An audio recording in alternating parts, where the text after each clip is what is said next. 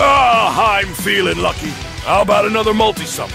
Vegeta, that's the 300th time you've said that today. Wouldn't it just be smarter to save your Dragon Stones for the anniversary or something? Blasphemy! I'm not gonna let a puny little anniversary deprive me of my instant gratification. Okay, but you're just gonna get some random shitty ass SSR from 2016 again! A true Saiyan warrior never gives up on a lousy banner. Fine then, pull another STR Majuub. I don't give a flying fuck!